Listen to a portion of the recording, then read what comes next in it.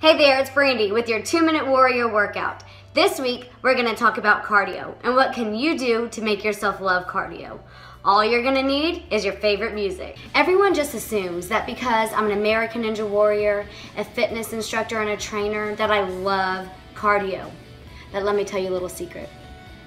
I don't like cardio any more than you do. Here's my secret. I don't base my, take. I don't base my cardio off of time or number of sets.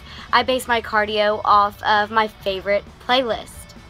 Start off with one song of nonstop cardio, then work your way up to two, three, four songs as you improve. Do your cardio based on.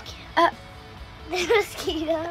Did I have a bug on me? Yeah. Rather than how many minutes you're on the treadmill or how many jump squats you do, don't pay attention to any of that. Just base your cardio off of the number of songs you do. It makes it so much more enjoyable, right, Goose? No.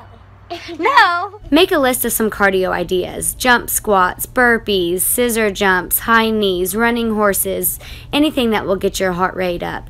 And just alternate those cardio moves from song to song, two songs, three songs, four songs. Before you know it, you'll have 15 to 20 minutes of cardio under your belt. Don't look at the clock, don't look at the time, don't watch those seconds tick by. Just listen to your music and learn to love your cardio.